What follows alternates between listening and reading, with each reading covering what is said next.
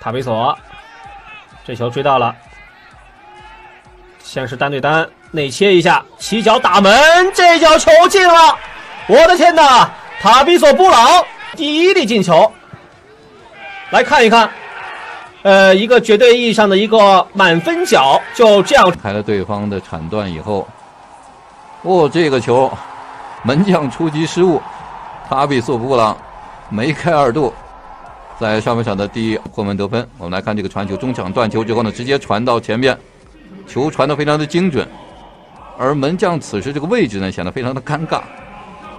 如果能够早出击那么一点的话，可能还会高。大家可以看到，他在出击到半道时时候呢，有点停顿了。刘志之速度冲起来，传中的质量看一下，停球晃一下，这次的射门球进了，阿里索布朗。胸口停球，我们来看这个后点，两名队员，塔比索布朗以及李晨光两名队员只有宾继文一名边路队员在盯啊。这样的，但是抢先战术捅出来，往里给，这球电射，这一下再一次扩大了比分。刘志志这么轻松就推掉之后完成了传中呢。盯上了这是四号的队长，用艾利兹明来发，给到中路，哎呦，这颗球打进了，打进了！山东腾越今天在主场这个回放，这个给过来之后是转向了。球门，呃，塔比萨几乎是没有动位置，直接助跑，走，这一下果然是稳稳的将球打进。那这样的话，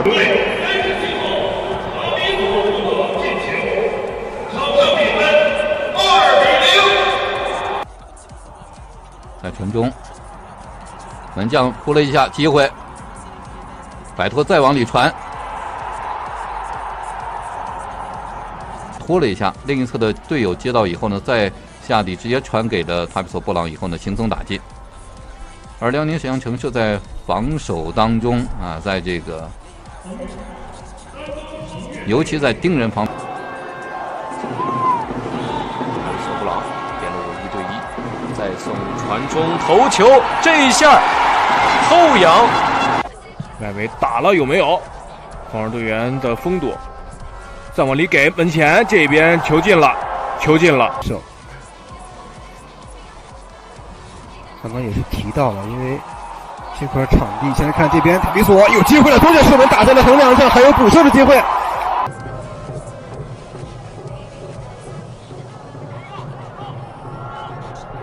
布朗一扣，再拿，直接打门了。哦呦，对于自己的脚法，要科瓦切维奇啊，塔比索在要，停下来。调整一下，直接打！哎呦，这个球还是相当有威胁的啊！塔比索上来，塔比索布朗外围的一脚远射，邓小飞一脚外围的冷射，邓以及战塞南准备替补上场。不过他们得先守住这一球，塔比索弧顶位置上再敲过来，大门将球向前直塞。远示意，进攻有力，外围的打门。三十七号塔布索不给到张亮，怎么样？这次传球，再做回到中路，有打门的机会。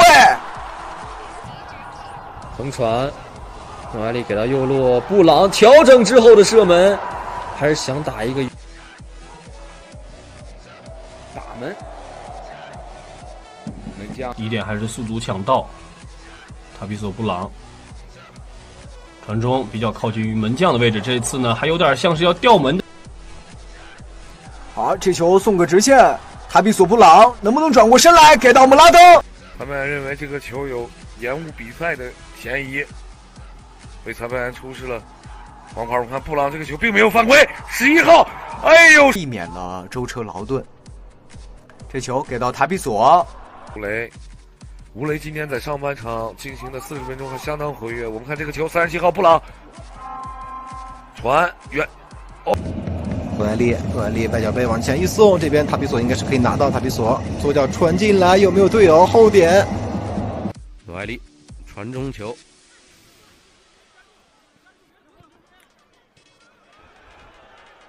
外围架炮远射，这个非常精彩的进球啊，角球直接破门。来看这边，哎呦，诺埃利劲儿稍微小点，给塔比索布朗也好了，还好布朗的脚下还比较快，刚刚上场，体能比较充足。看看直接给远端，球攻门还是很有想法。哎呦，这下失误，看看这下犯规，裁判员，呃，还是吹了犯规，同时呢掏出。进攻呢还是被丹东诚业化解。丹东诚业队呢也是在主场啊还没有取得过胜利啊，很明显的。这一进球打得着实是非常漂亮，也基本可以。下第一点防守队员争到二点，科比纳能不能给到科比纳呢？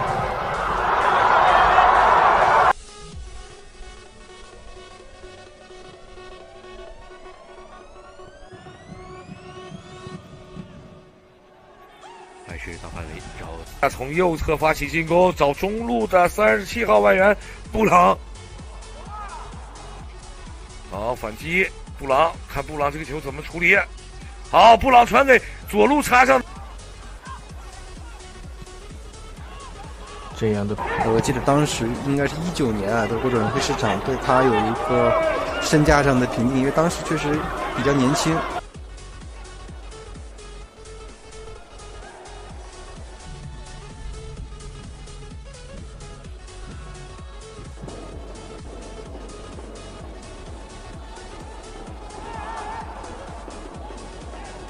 为他在这个位置没有办法发力了，只能是伸脚去拦。轰！